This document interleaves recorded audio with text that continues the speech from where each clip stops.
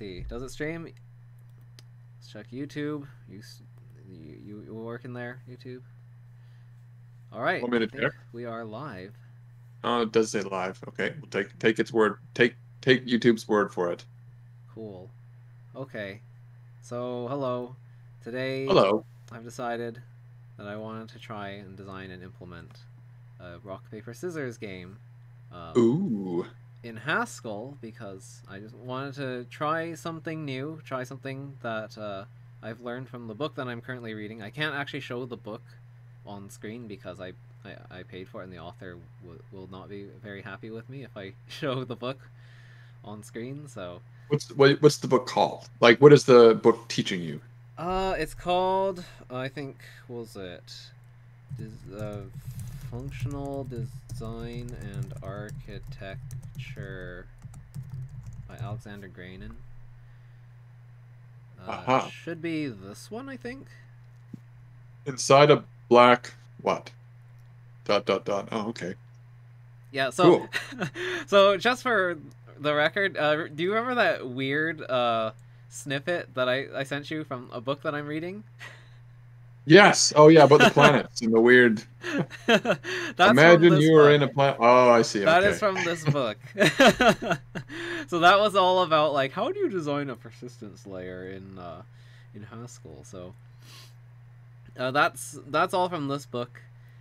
Um, right now, uh, I have Haskell set up. It was actually really easy to set up Haskell. Let me see if I can even show it here.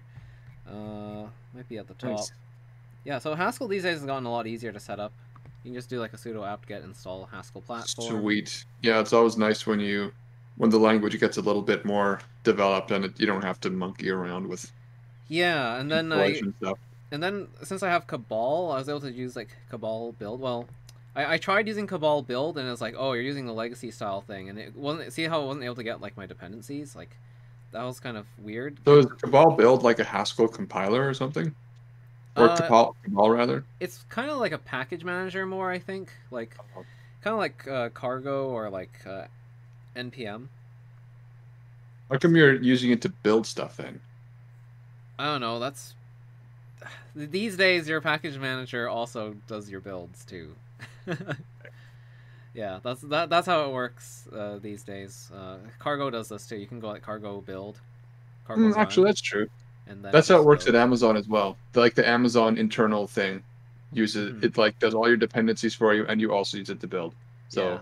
that checks out. That's like the the new way of doing things, but yeah, Right. this this is used to get the dependencies stuff. I'm thinking like NuGet. It's like you'll never be able to build with NuGet, but it does all your dependency stuff for you hmm anyway. But this one actually, uh, so I, I did the um, Cabal build. It actually didn't work, and it complained about you know me using Yo, old version. dependencies. I need to use uh, Oh. the the new version of Cabal build, and so Ah, okay. Because they actually have a Cabal V2 build, and that actually does fetch all your dependencies and stuff. If you if you want to do it the old way, I think you actually have to manually install all your dependencies with like Cabal install. Oh dear God. Yeah, it's. I think it was pretty terrible, but yeah, I, I just did the V2 Wait, build. yeah, downloading, installing, blah blah blah, and just pull them all down for you. Very yeah, nice. so that that all worked really nicely. I, I'm actually very happy with that. Cabal V2-run does the same thing as like a, car, a cargo run, so it just runs the executable. So Cabal, it's a debug. package manager plus handles your build stuff all in one. Yeah, I, I, I think so. It, at least that's how Is it, it- that's how it feels. I don't know. Is it used for other languages as well? Looks like a separate thing. No, it's used just for Haskell. It's not used for anything else. Okay. Uh, Oh yeah, getting started with Haskell and Cabal. Okay, cool. Gotcha. Yeah, but this is uh, I think this is using this new like Nix style local build thing. Ni- Nix is another package manager, and that one is like, um, that's language agnostic. I'm not really sure what exactly Nix is. It kind of sounds a bit like chocolatey to me. Like I think a lot of people describe Mm, I like Chocolatey as a- chocolatey. As like a package manager. So like Nix is sort of like a, a functional version of that. So I don't, I don't really know why uh, Nix exists and w- what they're using it for, but you know anyway, Ni- Nix is a thing. The- Yeah. I remember the first time I used Chocolatey, it was to install curl on Windows. And it was like, okay, so you can do this in one line with Chocolatey, or you can follow this like three page guide yeah, to do it manually. And I was just like, what? yeah. this no, is the best thing. just just use chocolatey. It's a similar thing with Nix is like if you want to install Idris, you could follow like a really long guide on how to install like all the components. Like you can install GCC or whatever. Yeah, exactly. Up, That's up environment variables. Blast. Like. But you can just like Nix install Idris too, and it's just like, oh, it works. Wow, easy. So yeah, that's uh that's what Nix uh, is. Um, Cool. So have we? Have you like built the run the Hello World in Haskell with Cab Cabal just to make sure everything's Oh running? yeah. Okay, so check check this out. Um, we're gonna do a Hello World of source. Also, I'm curious about that HS. This is our because I've, hello I've literally never seen Haskell. So All right. Yeah. This is this will be great then. Uh, so this is what our hello world. let looks the drinking from the fire hose begin. okay. this is super uh, interesting and different. So I personally don't okay. write a lot of Haskell. module. Cool.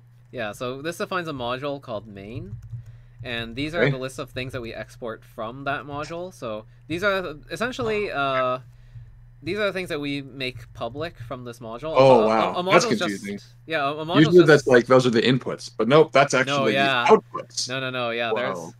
the the inputs would be done with like uh, I think just like regular like import blah. I haven't actually done that yet. We're going. But to if you wanted to like pass in something on the command line, if you're executing this like on the command line, like you wanted to pass in some flags or something like that. Oh, then you just I think you would just change the signature of main. I actually don't know how that works because again, I like like I said, I don't actually use Haskell very much at all. like Okay. I, I I'm literate in Haskell, but that's mostly because I've had to be in order to understand stuff from like Idris and like Rust. and- Literate. I can't read Haskell, okay? don't worry, you you will you will learn a little bit of Haskell today. And I'm not gonna do anything super crazy. Well, actually, mm, it depends. I, I'll explain everything. I'll explain everything. so why are you choosing Haskell if you don't use Haskell very often? Is that what the, the That's a- language of the book? That's a really great question.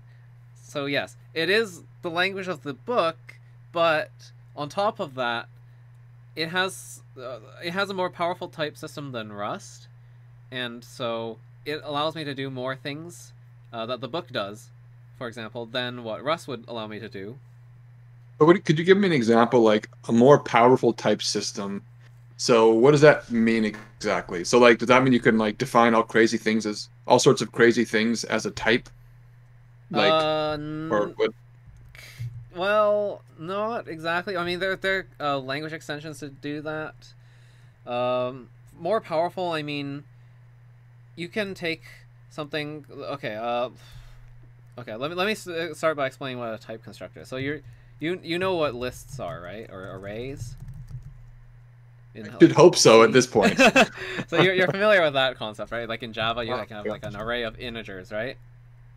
I do work as a professional software developer. yeah, I do know what an array is. All right, good. Just making sure. So you know how normally you have like an array T, like it takes some kind of parameter, some type parameter. Sure. Yes. And then when you give it an actual like parameter like int or bool, then you actually get you you get a, an actual type that you can use. Like you can define a variable a, and you you, can know store bools in there. yeah, and just and like Bools you for days. instantiate as like an empty array or list or whatever, right? Like Right. that's the, you know what this is an array of bools. If I just call it array, you don't know what the heck this thing is, right? It doesn't make sense. It's array mystery. It's like an interface or something like that. It's like array is not a type. indeterminate. This is this is one of the core concepts of uh, you know this uh, type theoretical So, thing. Right. With like without the extra component, it's not a type. So what would you call it then if it's not a type? it's I guess a, like I can see where. Oh, go ahead. it's called a type constructor Why? Oh, I see. because it takes a type and then it constructs a type from that. So if I give it Right. int, if I apply int, like if it's it's almost like applying the array function to an argument, right? I give it What is- Uh, it, it, it, it's almost like a function from like type to type, right? That's what our, th- right. that's what this. Well, but hold on a sec. But it's not going from type to type. It's going from type constructor to type, right? no, it's taking a type. It's taking And a type. returning. Oh, okay. So it's integer. taking an int Uh-huh. and it's returning an, an array int. Yeah, so array itself has uh, this type, type to type, is essentially how it, uh, h- how we would describe it. Right. Okay. And so, Well, the, the type of a type is usually called a kind. so this, the- so we would say that array has kind type to type. So sort that, of like the signature kind yeah, of. it's like the, it's the, that's the kind signature of array. So this is this is getting into like higher kindedness. So in Haskell, what you're allowed to do is you're allowed to write functions that or, or that take um, type constructors as arguments rather than just uh, regular types. So if So I you can say take just take an array, for example. yeah, like Not if I a- write a not a- function okay. foo, right, and normally, uh, actually, let's write this in a very uh, Java-y syntax. Well, how do they do it? It's like public void, whatever, right? Uh, Name. foo, and then argument list. blah blah blah. then- Yeah, we'll, we'll just pretend that there's something here. Okay. So normally, you'd have like uh, a generic here, like a.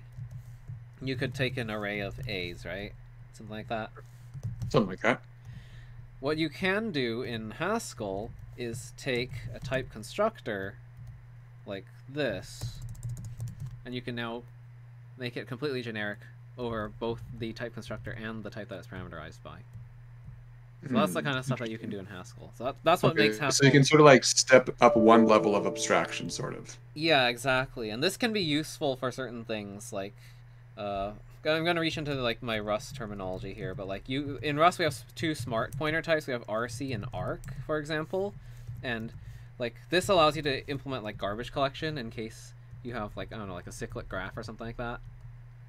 And th- what arc is is it's an atomic reference count, which means that you can have garbage collection through reference counting, but it's atomic, meaning that it's thread safe. And unfortunately, because these are two separate types, um, what ends up happening is anytime you want to write a function that you know takes uh, that, that does some kind of garbage collector, even if it doesn't care uh, if it's thread safe or not, uh, you have to implement it two times. You have to implement a a, a non-thread safe version and a thread safe version, or you know, uh, if you know you're never going to use uh, one of these two variants, you just implement one of them. But I mean, like in, theory, if you wanted to have like a non-thread safe version and a thread safe one, you would have to always implement functions that take um, one of uh, one of these things and then the other. So you're essentially duplicating uh, your code base, which kind of sucks. Uh, but if you are able to, you know, abstract over that and say like, oh, such that f, you know, Im- implements like the uh, pointer family uh, interface, for example, then you're able to actually write code that is agnostic of the actual uh, pointer type. So that's actually really useful um, if you're trying to do that kind of stuff in Rust. Rust doesn't have that feature currently. It's called uh, they're currently calling it uh, gen- generic associated types, I think. But yeah, that's that's essentially the gist of uh, why that would be useful. And there's a lot of places in Haskell where we're going to be using that today. So fun stuff. Okay. Yeah, from my my object oriented brain keeps trying to make the connection to interfaces. Like it seems similar to what we do with an interface in terms of like you It can pass an interface and it can be polymorphic and Yeah, it is. Yeah. Uh, the way that generics work is they're at least in Haskell is they're they're um, they they implement a kind of parametric polymorphism. So it's just a different kind of polymorphism. But yeah, Right. polymorphism is that generalized concept that you're thinking of. And it's just that in object-oriented programming, we happen to use like subtype polymorphism everywhere because we know we, we, we like to think of everything as like a subclass of another thing in OO. It's just easier that way if you have like a single hammer to swing at every single uh, thing in the universe than to have specialized tools for you know specific use cases, depending on the context. Like right. the- Okay. OO is kind of more of a big sledgehammer, whereas Haskell's like a bunch of tool tools like a, a screwdriver, uh, a regular hammer. Uh, there's still the sledgehammer if you need it, but you know you don't necessarily want to use it everywhere. In this in this metaphor, tools are different types of polymorphism. Uh, you could say that. There's there's a lot of different ways of accomplishing the same thing. I guess you could say like accomplishing like inversion of control in Haskell versus um, OOP. I'm actually going to be showing off one of them today. That's going to be one of the main attractions. Um, but yeah, just to give you like a quick rundown before we really get started here. Uh, so I, I already told you about the module syntax. You know how that works. Uh, do you understand this? What's going on here? Well, I can see we have basically a print line that's printing high, and above that, uh, are we like importing some kind of an IO class, or, or I guess not a class because we're in functional Uh, programming? that's part of the base libraries or something, or like standard. I don't know. right. Yeah, Yeah, like the standard, the standard class library, but not classes because this is Yeah, that's built in. So Right. um, Haskell, because it's trying to be hip and cool, uh, it's basically doing this, except it's getting rid of the angle brackets. So uh, that's not a type. That's a type constructor IO, and the type So that we're supplying it is this weird uh, empty tuple type, which you can read as void from uh, Java. It's a little bit different from how void works in Java, but it's essentially it, it, it like semantically, it, it's basically the same thing. So IO is a type constructor, and it's taking void, and it's producing what? Like, what's the other side of the arrow? There is no other side of the arrow. so this is a function that we, we could write it out as this. It takes like um, a, a nothing and it returns like an IO, uh, essentially void. Um, Okay. So is this just like we're just doing it for the side effect of somehow having access to IO? Yep, that's exactly what that says.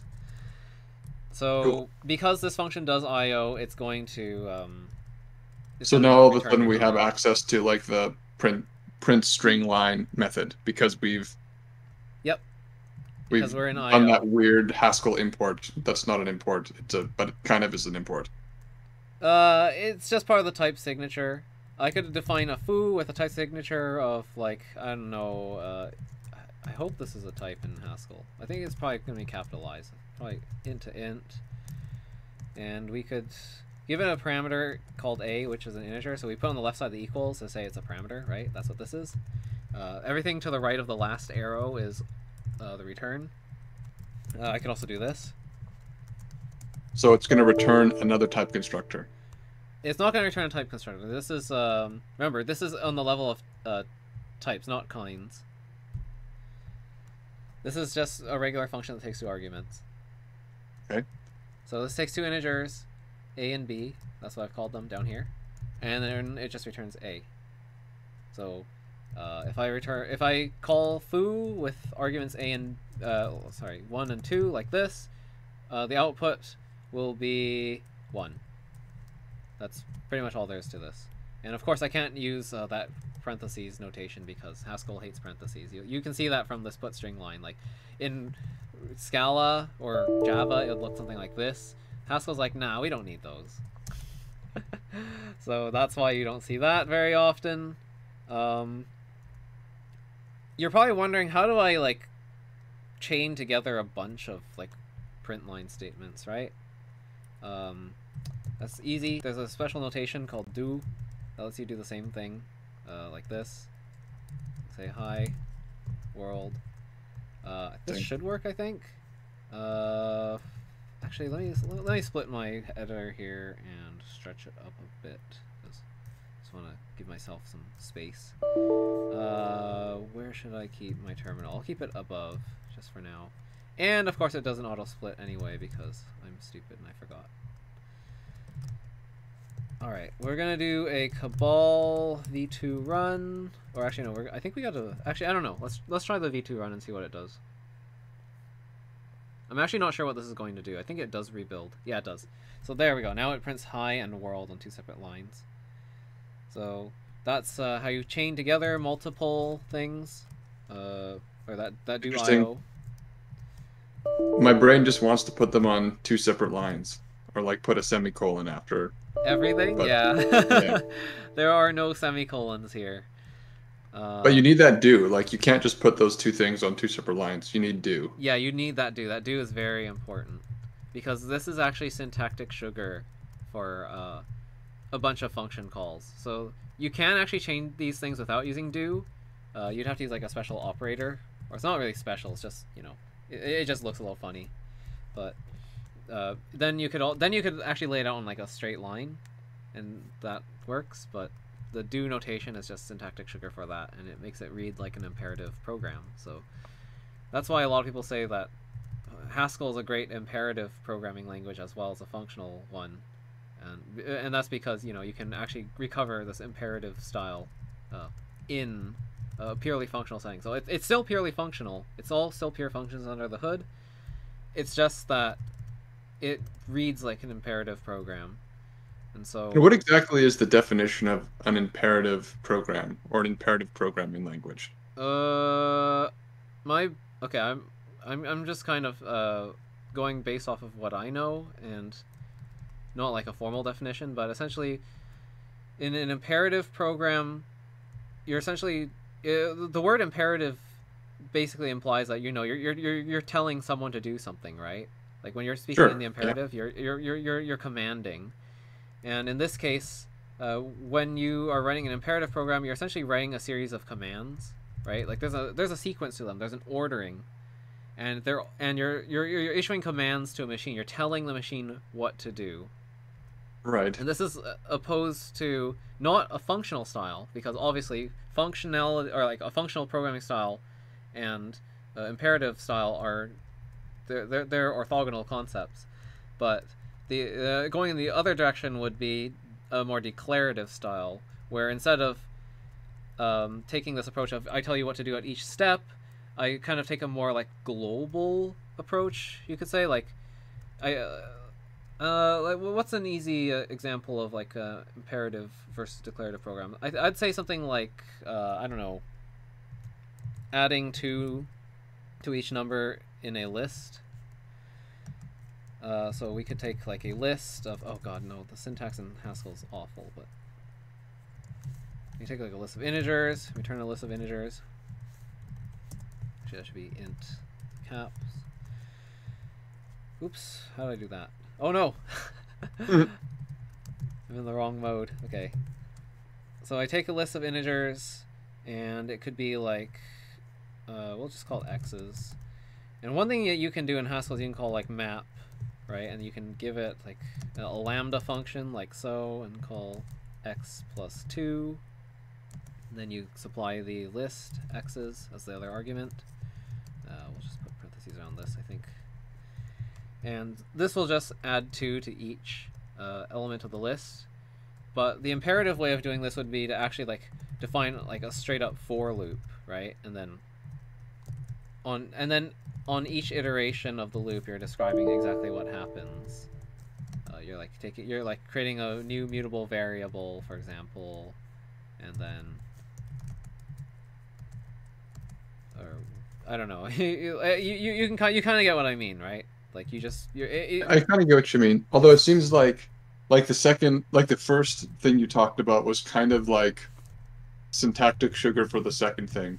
I guess like It's- one, one other thing I find it is. confusing is It is actually Yeah. just kind of syntactic sugar for it, and it and yeah, like the difference between like a declarative style and an imperative style is really just how you look at it. Like sometimes you can actually just take a function that is perfectly um, imperative, like fork process or something, and just rename it, and that gives it a more declarative meaning, a more declarative reading.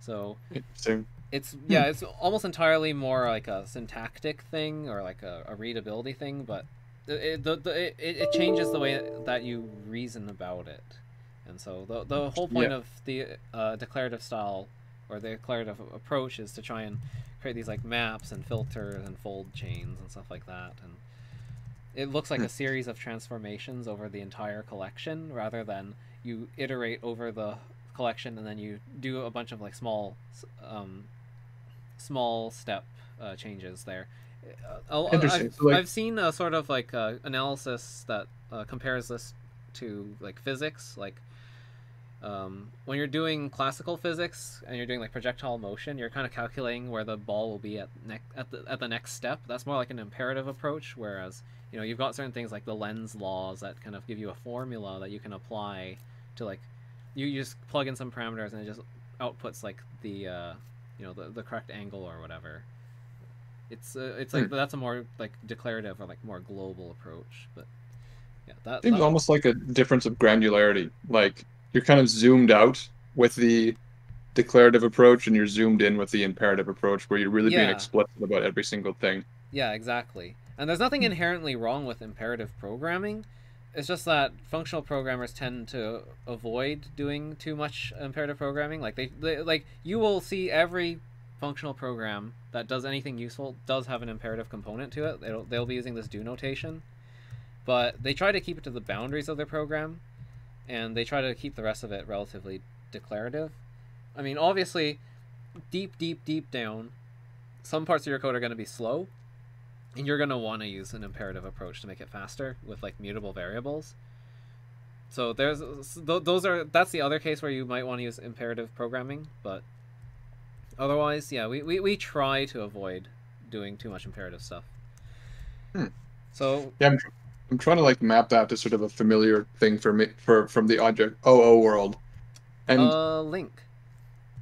Oh yeah, yeah, no, I, I totally know you can do this sort of stuff like in in C sharp and in in Java they have these like map and filter and reduce kind of things you can do. Yeah. But I just mean like if we think about these things in terms of level of granularity, like in any program, I guess you have this decision that you have to make like okay, at what point do I want to refactor this chunk of code into a separate function and Mhm. sort of zoom out in that particular area?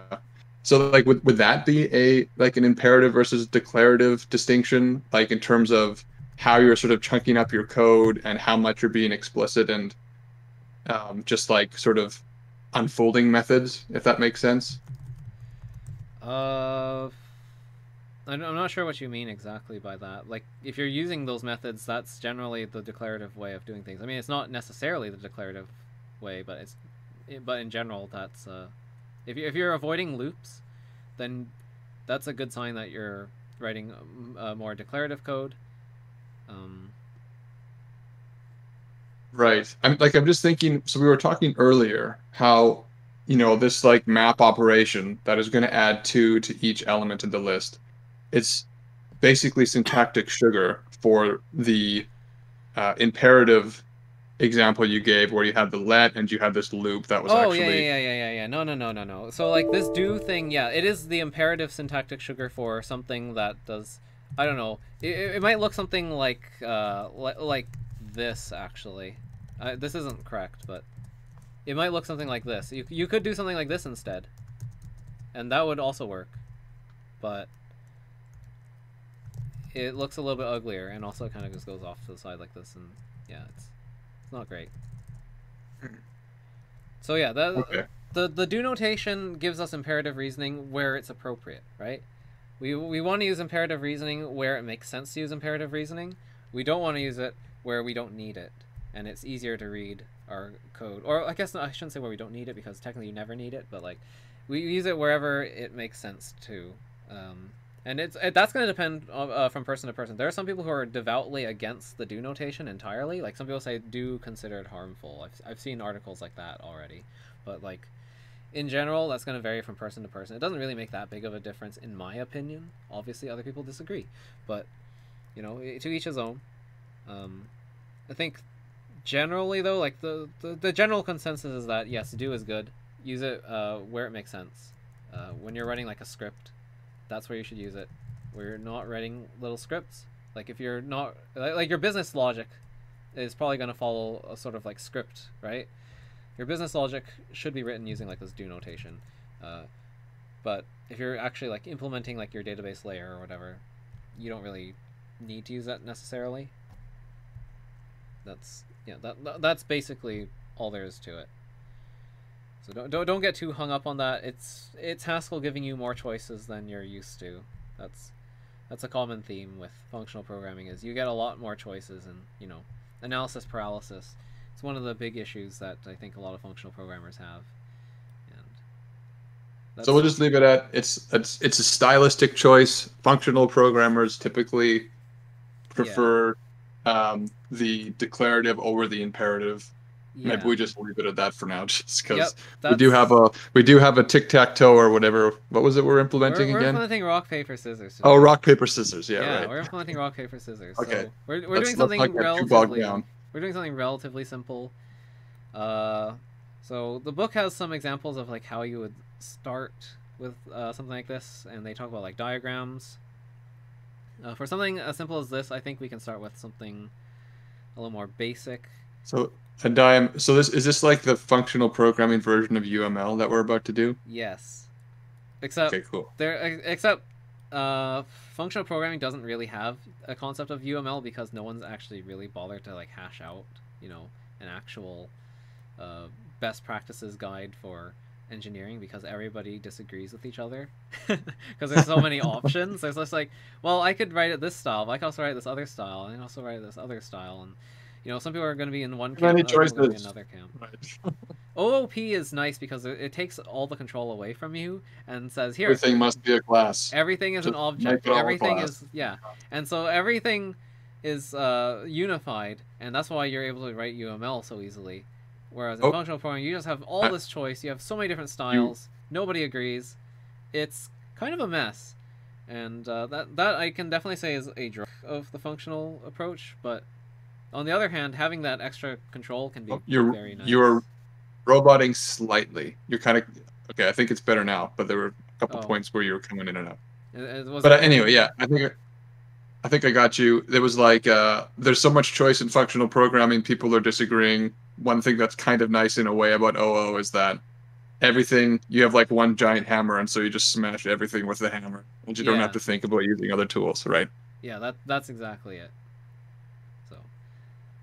Uh, anyway, how do I how do I put text in this? So Yeah. what, what we're gonna do is we're gonna follow what the book says. The, the book does something called well, it follows a domain-driven design. So this is something that you're probably familiar with if you're an object-oriented programmer as well. Um, they they separate the application into different layers, and so uh, he describes like the application layer as being like your kind of like top level layer where you handle like passing in the config and stuff like that. And essentially, the way that we're going to do this is we're going to lay out our uh, our different layers here, similar to how you would uh, in uh, any uh, object-oriented program, but we're not using UML. We're just using like little blocks and stuff. So we're going to have an application layer uh, because uh, this is a rock paper scissors. Um, and I want to make it multiplayer, by the way. We're also going to have a the ability to fork processes. So we're gonna have like a- Single player is pretty sad. Single player rock paper scissors is pretty sad. Yeah. so we're gonna have the ability to fork different processes. Um, the processes that we fork are going to be for the first player and the second player, right? So that way they can send their uh, responses or requests like in parallel. So that way, if Cool. player two sends their, um, you know, I, I choose rock before player one chooses, uh, then it's okay. It's not gonna like not be able to handle that. So that's what that's for. Uh, the book also suggests using a business logic layer. So they call it Lang L. I don't really know why actually. uh, but that's that, that's what they call it. We'll, we'll, we'll talk a little bit about like the the whole uh, Lang stuff a bit later. So uh, I have a I have a question that's not specifically related to functional programming, but just before Sure. we get in too deep. So you said uh, you want to fork, so you have two different processes, one for each player, And we have like a Um, main process as well. and the main process as well. Mhm. Like, um, when I think of the simplest approach to this problem, I think, okay, so you know, like you you have a single thread. The thread first asks player one, okay, what's your choice? Ask player two. Well, actually, I guess it depends on how multiplayer is going to be set up here. Are we thinking like real time, like? Uh, uh, well, how about this? Maybe could we just take a second to say like this is what we're going for in the end? Like this is what this is what the game is going to look like. You have player one, player two. Here's how they are uh, entering their their choices into the console, just so we have a target of what we're Sure. going Yeah, for. we should. Yeah, we should. We should hash out the requirements a little bit more clearly. Um, I don't know if I should like write it down or something. Uh, so I actually even have, just like ver- like verbally or however you want to do it, just so we know what our target is. And that's always a good thing to. Alright, to I actually do have like a a, a design that I kind of hashed out earlier that this is uh, going to build towards. Uh, this isn't actually complete. I was this isn't, uh, I, I was just like playing around with stuff, but uh, essentially my idea is that we'll have um, there'll be like a server and a client, right? There's a server and client applications. Uh, the way I was looking at this was the server is going to spawn two threads, right? Uh, one for the client, one for the server, or not for the server. One one for each of the players. Okay, cool. and what it's going to do is it's going to wait for connections and then the match begins. And so when the match begins uh, it's just going to wait uh, on both threads for each player's response right? So wait for responses. And once it gets the responses it's just going to calculate the winner and send a winner back to clients. So that's a that's a very like simplified version of what I'm going for. Okay. Well, that's that's clear now. So. All right. Cool. Yeah, glad we went over that. Yeah, and then there'll be uh, two separate clients. Uh, I imagine what the clients are going to do is they're going to connect to server. Uh, they're going to be they're going to wait until uh, opponent is found. And once it's found, they're going to send their uh, send their response. And they're just going to wait until calculation is done. And then they're just going to, you know, print the the winner out to the console. And that's uh, that, that, that's pretty much it. So yeah, I, I think what you're saying could have worked as well. Like we could have asked player one for their input first, and then asked player two for their input. But I I still I don't know if that would have avoided having to have two threads though. Cause uh, I guess hmm. I mean, I I don't know. At first, at first look, of course, maybe thinking about this more carefully, you'd yeah. find some other cases. But I think you could do it with a single thread, but it would maybe not be the best experience. If I think about simulating rock paper scissors, it is kind of like a parallel thing, right? You don't want to get like a message saying like waiting for player one to choose whether they're going to choose rock paper scissors. Yeah. Right? Because it, it should be like in parallel. It shouldn't be. It shouldn't be sequential like that. So anyway, I think having two threads is good now that I understand kind of what we're going for, and I think that'd be the best, the best player experience. Right. So that's what I'm aiming for. Uh, those are the requirements, I guess, very roughly, cool. rough outline. Interesting. Um, so yeah, back to the diagram stuff. Uh, let me add some arrows here. So we're gonna have our application layer depend on our business logic layer. It's also going to depend on the process layer. And in our business logic, that's where we're going to actually do the bulk of our stuff. Uh, I think this is where we want to do our networking.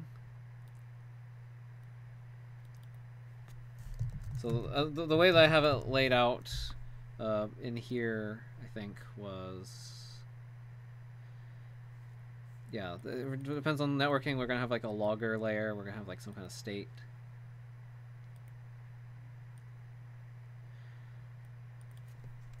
So that's what these will be.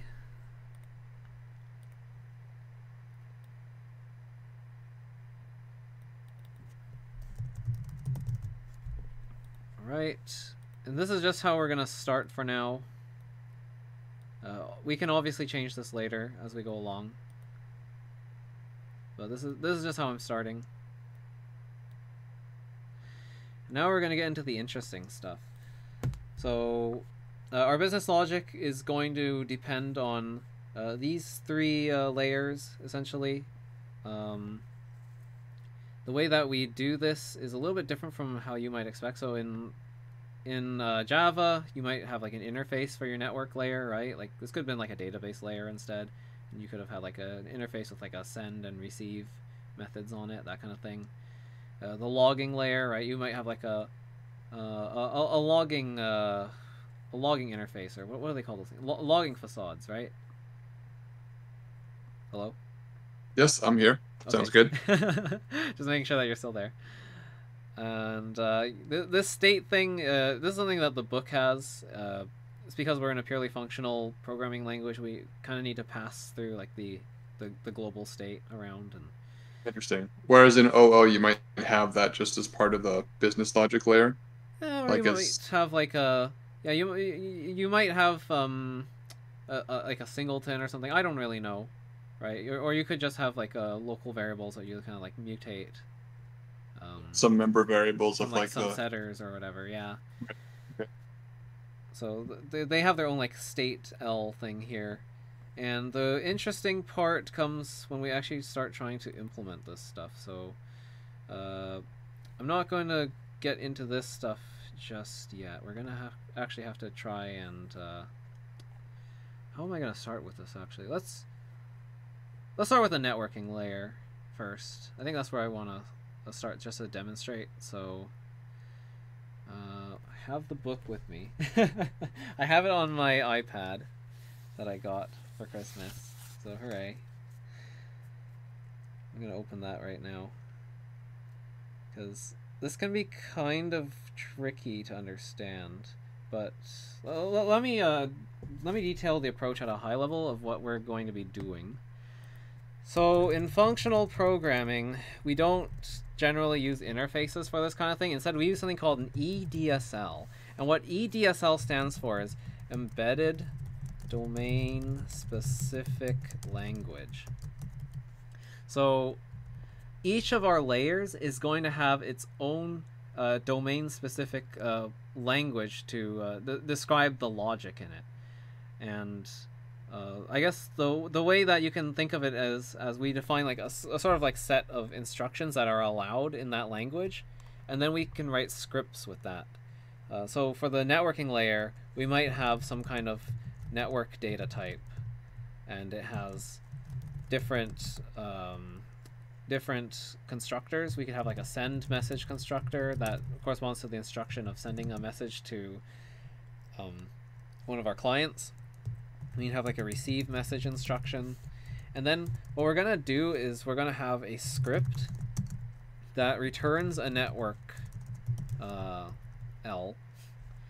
And what that script is going to look like is an imperative script using do notation where each instruction is going to use one of these um, these constructors as like the actual instructions in the script or the actual commands in the script. So we could like send a message to client one, for example. We could receive message from client two, and if we want to store that message in a variable, we could use this arrow and store it in uh, received message. And then after that, we could send another message like so to client two, and we could actually, you know, we, we should actually specify what the message is, right? Like this one should be like hi, this one could be like hello, something like that. And this script is going to be, um, uh, it- it's not actually going to be executed until we interpret it with some kind of interpreter, right? So here's where we get into the inversion of control part of, uh, you know, of the, this approach. Uh, so in Java, you have like an interface, right, and you implement different. Um, you, you implement the interface for the different classes and stuff, right? But you can code to that interface. What you can do with the EDSL is you can code uh, to uh, this sort of functional interface, right, where we we write this script of uh, different things that can happen, and now I can actually create a mock interpreter, which is going to interpret the network language. Uh, this one can return like unit, and what this mock interpreter is going to do is it's going to take our script that we had, that we that we pass in, and it's going to actually uh, interpret like it's, it's to do like that pattern matching thing that you've seen before uh, where you it, it's kind of like a switch statement right you you see that we, we got a send message instruction that has like a client and that has like an actual message attached to it and now what we can do is we can mock that by having it just do like I don't know. Well, that's I can't do put string line because that does IO, but uh, we just return unit for that, right? Like th- th- this function is supposed to return unit, so we can just mock uh, each of the individual instructions and how they're or no, not the instructions themselves, but we can mock how we interpret the instructions. And for the real interpreter, we'll do the same thing. We'll take the network layer, we'll do that. We'll take our send message instruction, and this one can actually like open a, a connection or like or take an existing TCP connection. We can like pass in the connection as well. I don't know. Right? And do something like connection like send we'll give it the client and the message and then there you go. So this is how we attain um, this sort of inversion of control without having to use interfaces. Does, does that make sense? I think so. Taking it back to like OO land, so you have an interface, you can mock it out really easily for your unit tests or whatever, Mhm. and then you have another implementation that actually does what you want it to.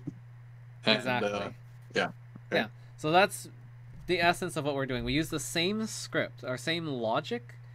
That's like having the function that codes against the interfaces, and then we actually implement um, those uh, methods in different ways by writing different interpreters instead. So th- this is the functional or uh, the, functional way of doing this. Uh, you can also use type classes to do the same thing, or like something similar. Um, and that's a lot closer to the object-oriented way of using interfaces, but that's not what the book recommends. The book recommends this EDSL approach, and I think the main reason why they do that is because you'll notice that uh, this thing takes uh, a network language. Actually, the, the script itself returns a network uh, script, right? Um, what's nice about that is it's not doing any I/O or anything. Like you can actually specify specifically that the only things you can do in this script are in, these instructions that come from the uh, networking uh, language. And again, it seems like send message and receive message would be like a function on a class or something like that, or like a, Yeah, you that's that's another what class. you normally do in Yeah. object-oriented programming. Those would be your interface methods, right? Right. So instead of data network L, it'd be like interface network, and then you'd have a method send message and a method receive message in that interface. Right. And then you would have the code that codes to the interface, like you're saying, and we have our implementations of the interface. Exactly. And uh, away we go. Okay.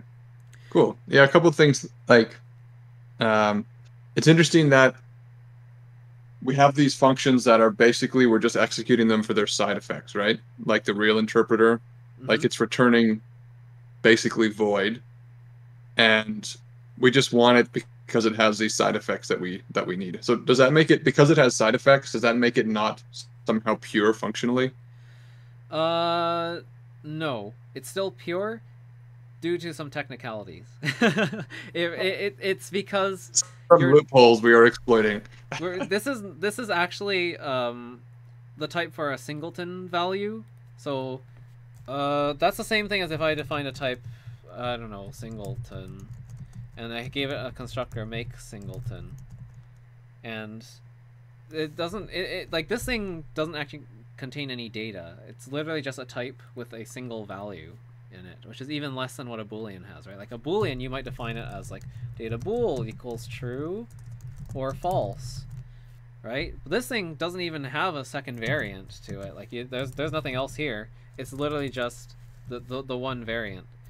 Um, so this is basically uh, it's not returning nothing. It's returning a value. It's returning a uh, th- this uh, singleton value, and that's what every function that returns this. Uh, th- this thing is called unit, by the way. So we can actually uh, be more explicit. Call it unit. Make unit. Uh, they call it this, which is the same thing, or, or that might be an alias for unit. I don't know. I don't know how it's defined, but th- that's just called unit.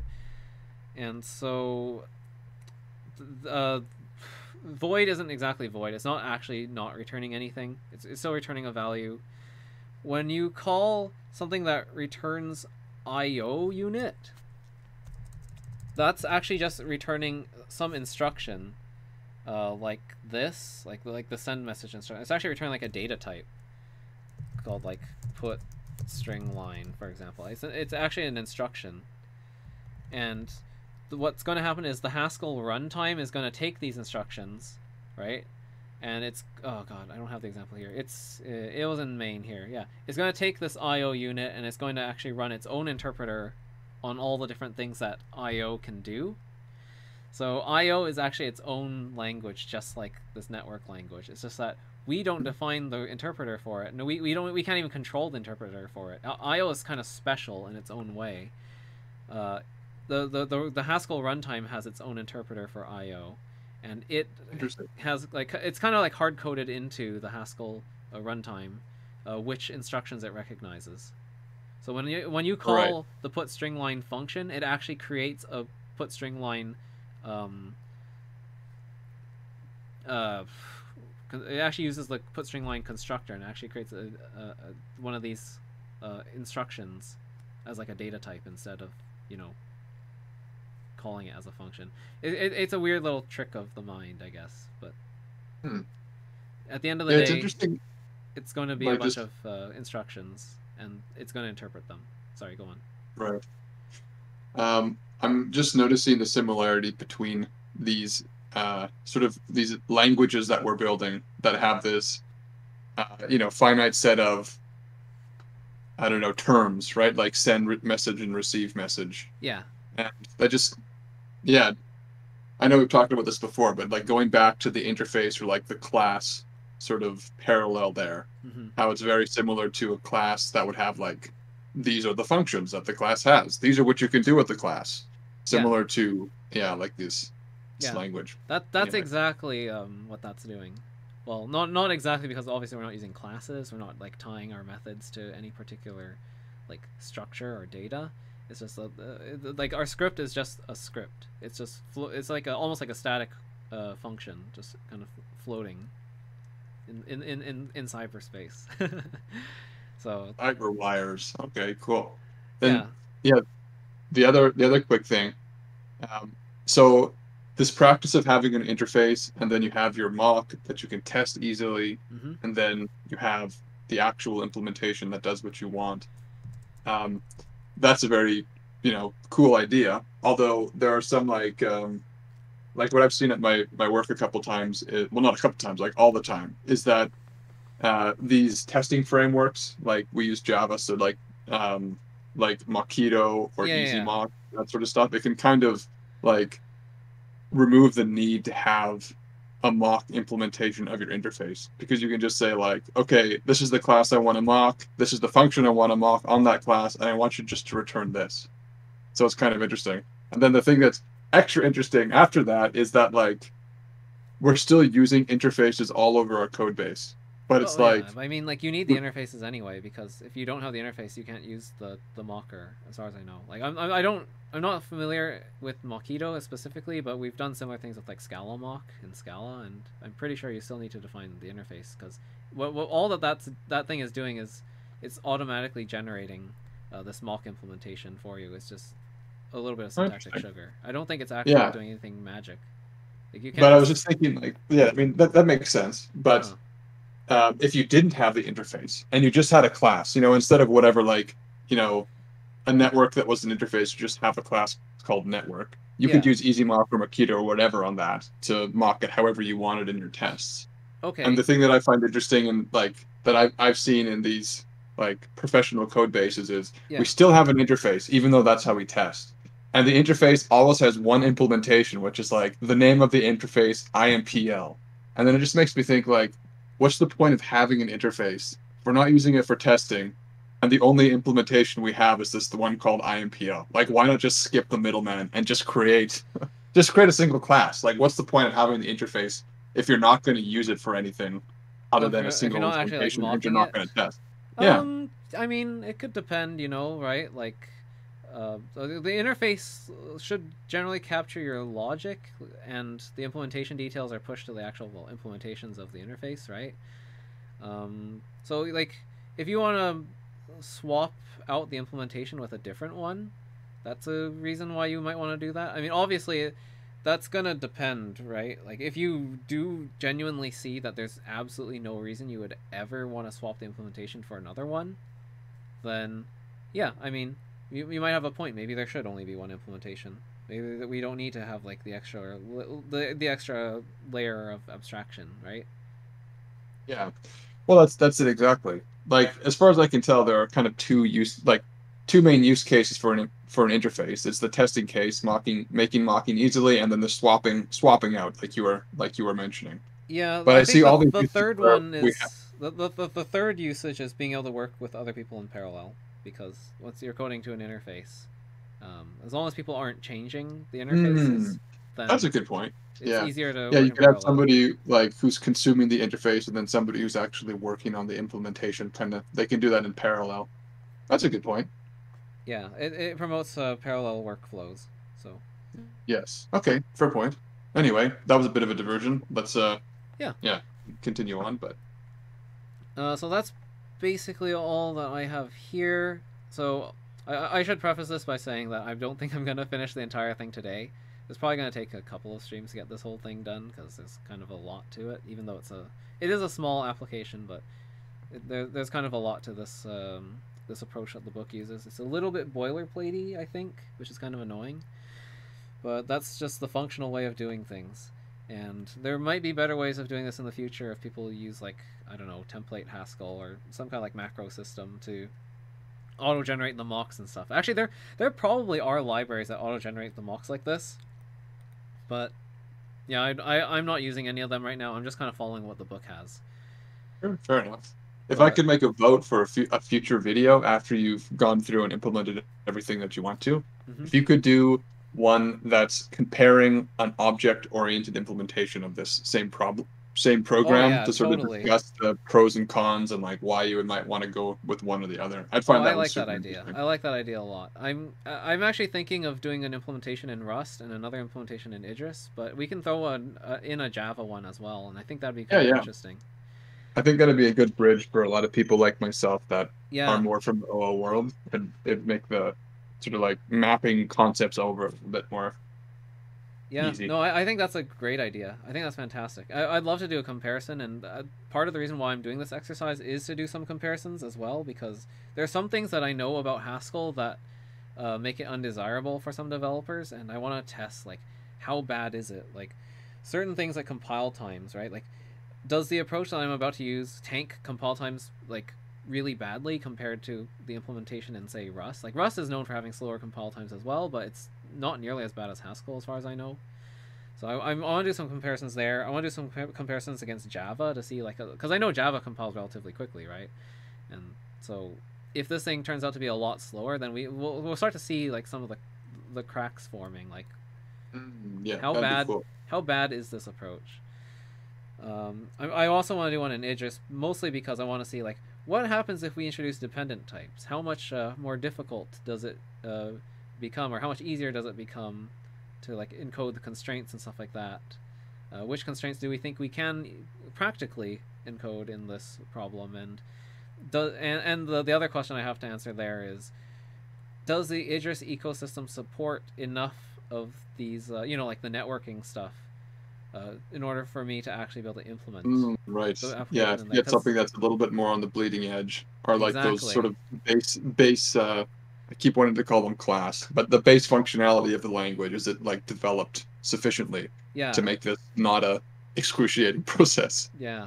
Because I know I can do this in Rust very easily. Like I don't even have to like think about that. But for Idris, I don't know if it's at a state where I can easily implement something like this and it'll actually just work right, right like right out of the box. So that's another question that I do want to have answered, and I think that would be a very helpful exercise. So yeah, that's uh, that's those are the main reasons why I have picked Haskell today. Cool. So let's start by trying to implement some of this stuff, I guess.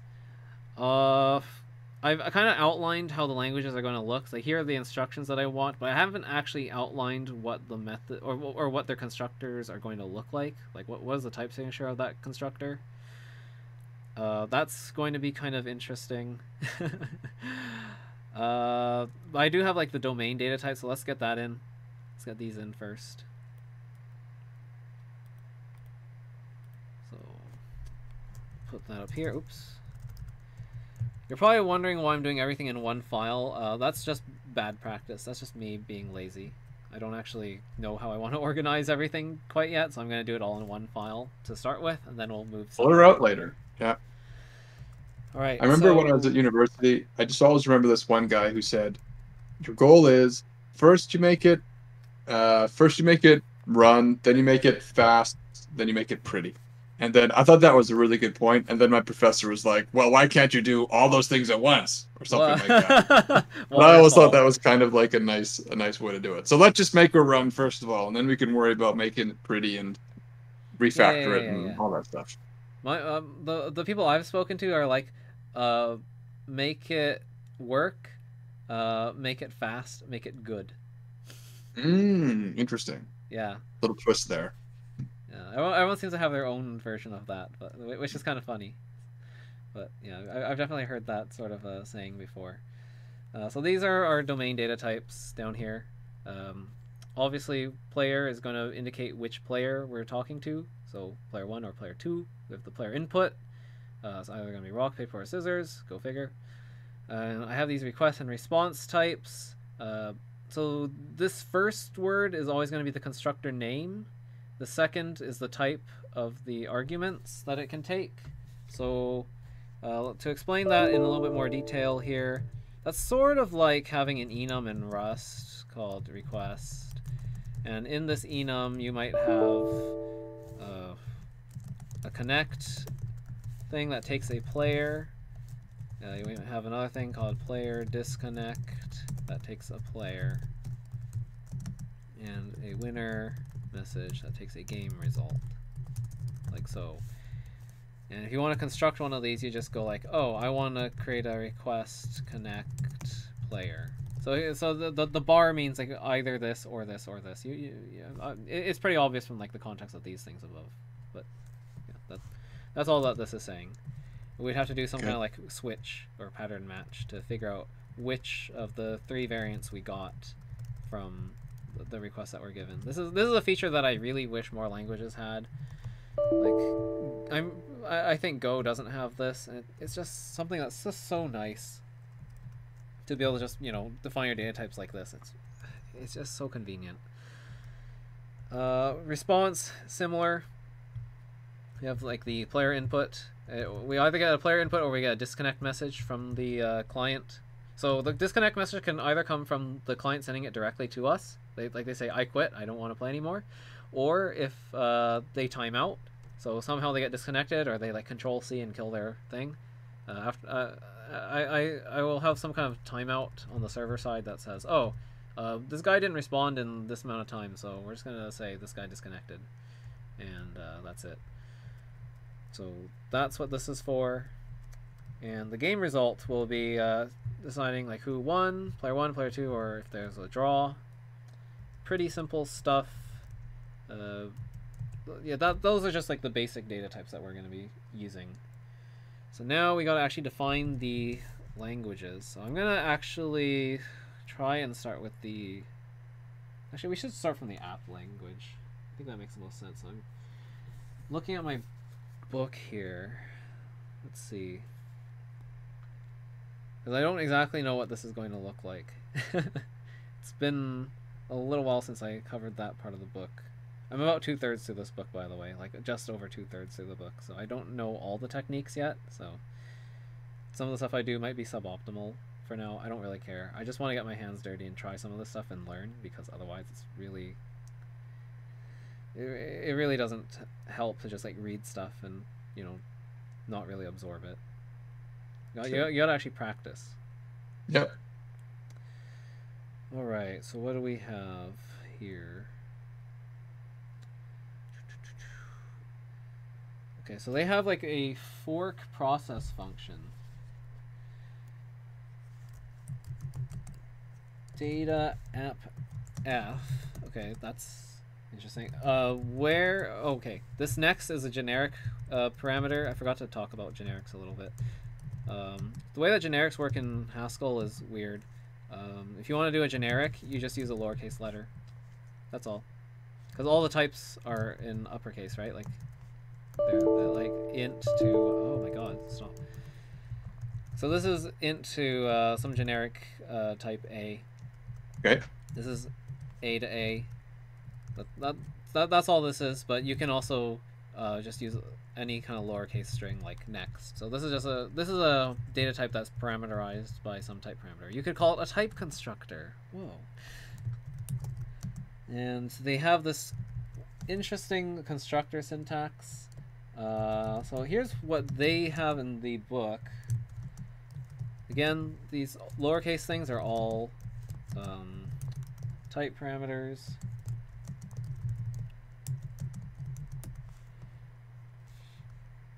Okay, this is for evaluating our business logic language. Oops. So, from what I can tell in the book, uh, this allows us to run scripts from the business logic layer in the application layer, hence why we have those like dependencies uh, in the diagram. And it, when we say that lang L has a dependency on state and network and logger, it means that we can actually call send message and receive message from lang L we can also Right. call the log functions from the logging language in our uh, lang-l scripts. Sure. So in OO land, we would have some member variable of like type logger, type whatever, and you could just call them as you needed from the business logic. Yeah, I think that's yeah, I think that makes sense. I think that's that's roughly equivalent. Yeah, I, I, I hadn't actually thought about that, so it's good that you're thinking about those things for the comparison that we're going to probably be doing later. Okay, they also have fork process, which is similar. This one takes a lang L that returns unit. This takes a okay. This is a a lambda or a function that you can pass in a first class function. You know. So this is a function that takes unit and returns next, and then returns an app f next. What is next again? Next is some generic you were saying? Yeah next is a generic. Uh yeah this is some really interesting syntax because you can't really do this kind of stuff in rust or other languages so easily. Uh the way that this works is kind of actually let me explain the, the this data where syntax a bit because it's a, it's really confusing. When i first encountered it i was so confused by this. It didn't make any sense to me. So let's redefine bool again but this time we're going to use where syntax. So this is how you define bool using where syntax. That's it. The each of these things is a different constructor, and all the stuff on the right hand side is the arguments, and then on the right side of that last arrow will be uh, some, the, the, the, the type itself. Um, the reason why we do it this way is because this allows us to define certain things inductively. Like if we were to define natural numbers, we could define a natural number as zero, right? And we could just say zero is a natural number. And if we wanted to define successor, we could say like a natural number is either uh, uh, it's either zero or it's the successor of another natural number. So this is an inductive definition of a natural number. We can give um, we can give the, the successor uh, constructor a zero, right? That's this first argument, and it'll give us another natural number, is what that's saying. And Gotcha. Yep. and if we give it one, right, which is the successor of zero, then we get the successor of successor of zero, which will also get us a nat. So this this generates an entire like natural number data structure inductively. So that's the reason why they have this syntax. It's because sometimes you want to use induction in your data types, and that's a very powerful concept. Um, so similarly here, uh, when we have multiple arguments like this, that's kind of like defining like a, a tuple almost, right? Like I could define a tuple data type here, where uh, we call we'll have a single construction called make tuple, and uh, what that might look like is you'll take an A and a B, and you'll return a tuple of type A and B. Uh, should add type parameters there. And there you go. And the syntactic sugar for constructing a tuple might look like this, right?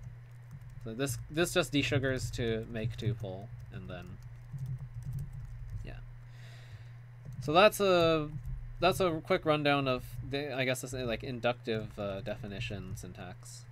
Um, you can use it for basically everything. It's like a strict uh, superset of what this syntax up here does, but this syntax up here is a lot easier to read, in my opinion, if you're just defining like some data types real quick.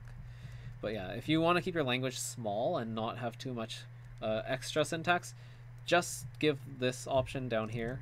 This syntax will let you do pretty much everything in your language. And I know that this is what uh, the kind programming language does. Uh, kind is the rename of formality. Formality used to be called formality, now it's called kind. And they, they only support one syntax, which is like this one. They don't support the other two the other syntax up here because that's yeah, definitely the first one seems easier to read to me, especially when you get multiple arrows and parentheses. It gets a little bit noisy, tricky to. Yeah, yeah, yeah I, I I generally agree with that. But if you want to keep your language small, like and have very few features, kind of like Go, right? Like Go doesn't have very many language features, then you want to just do something like this.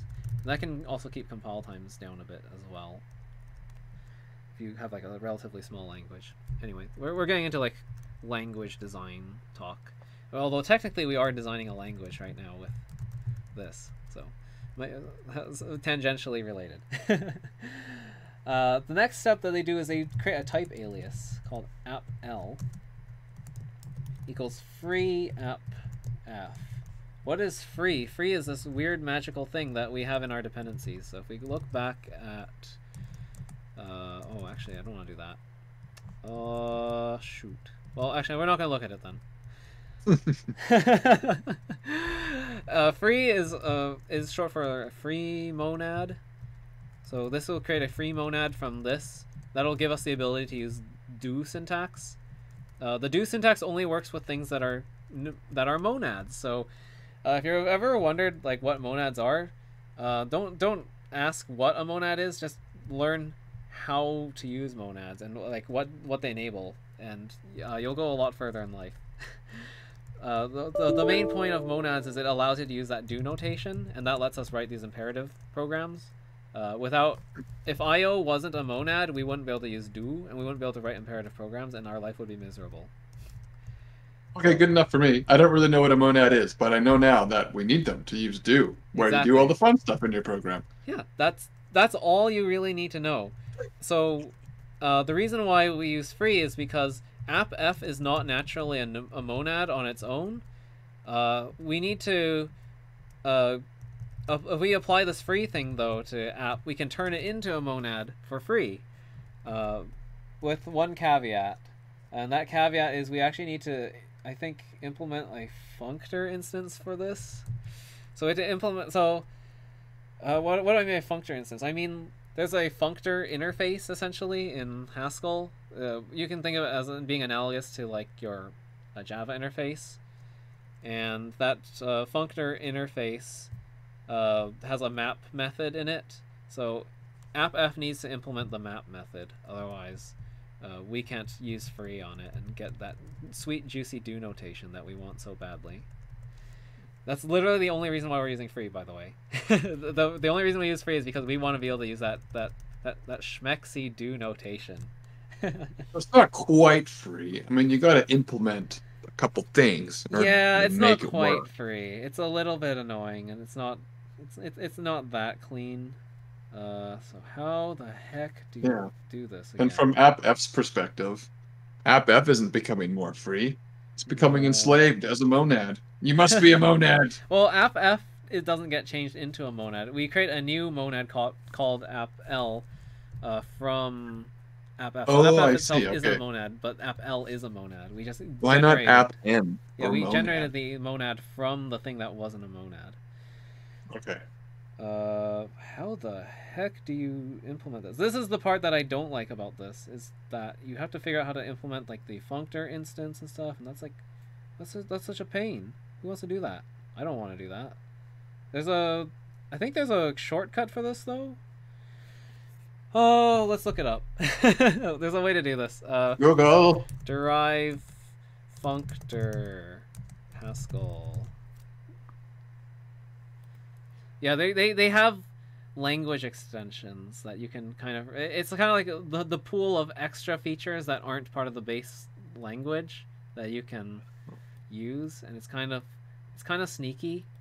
Oh yeah. What's that C plus plus thing that's like that? It's like everything you wish was in the standard library, but isn't in the standard library.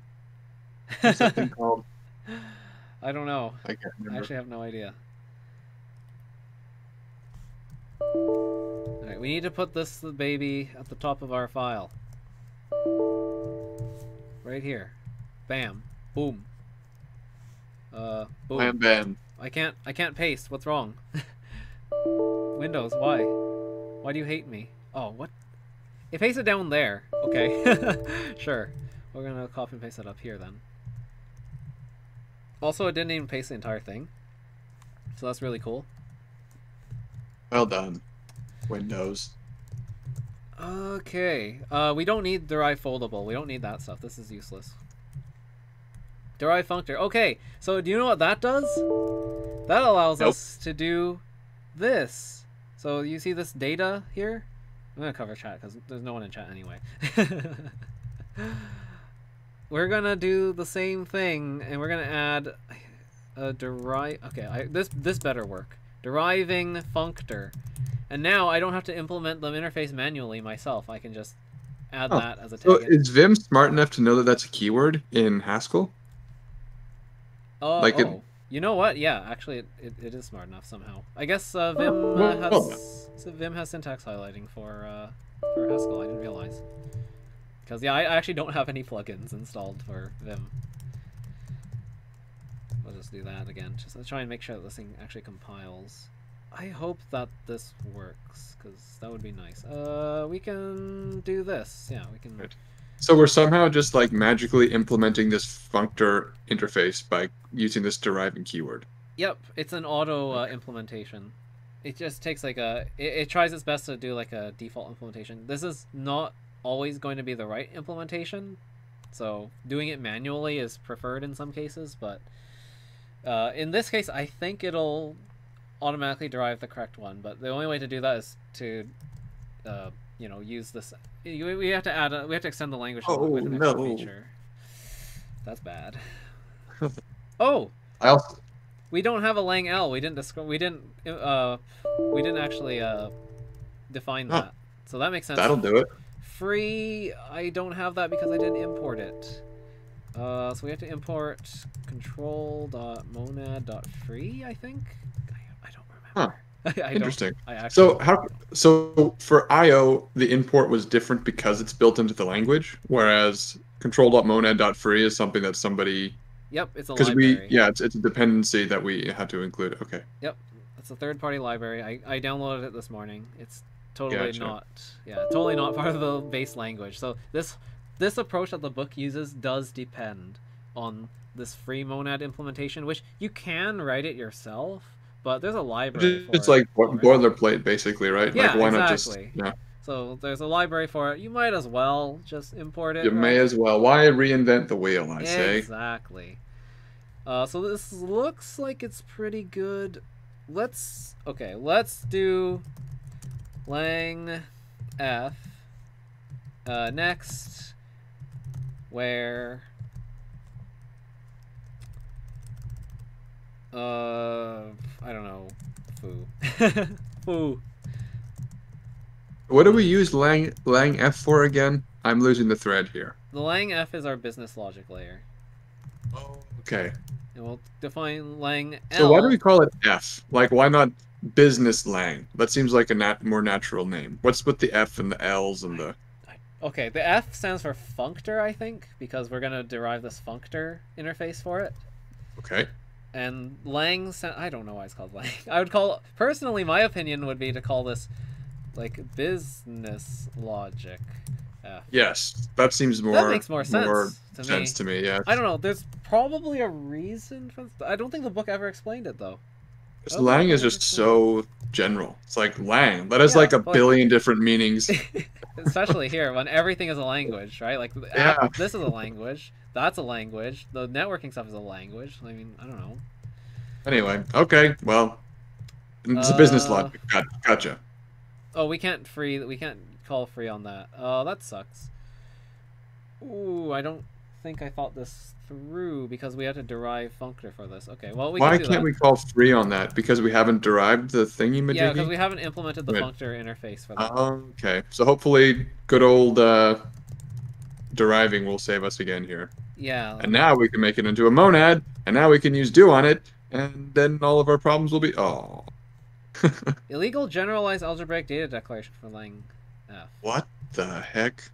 Uh, probably because I didn't actually give it arguments or something. Uh, you know, what, we'll just define it the same. Oh, I don't know. Oh, I didn't think about that. I also have to give my couple minute warning here. I gotta head out at two, so right. I'm gonna have to drop off pretty soon. All right, that's fine. I'll probably end stream soon then, and uh, yeah, we'll pick it up again next time.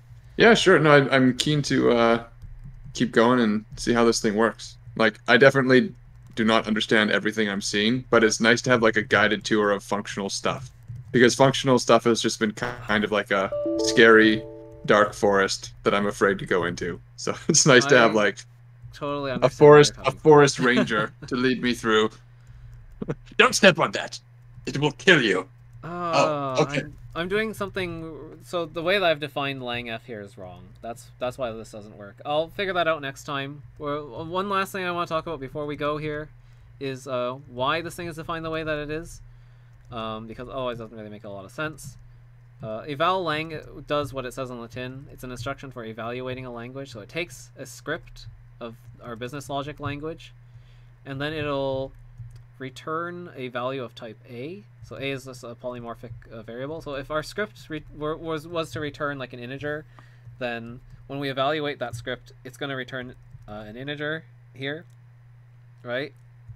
This next thing is uh, the mechanism that allows us to chain our next instruction with the do notation.